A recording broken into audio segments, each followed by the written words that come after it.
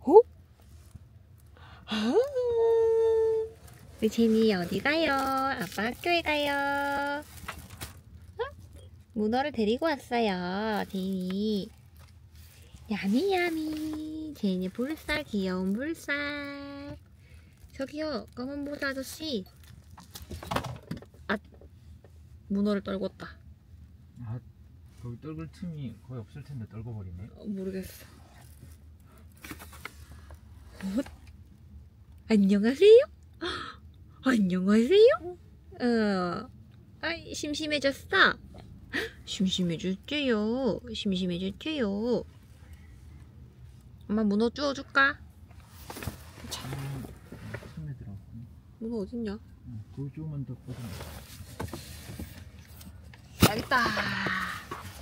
문어.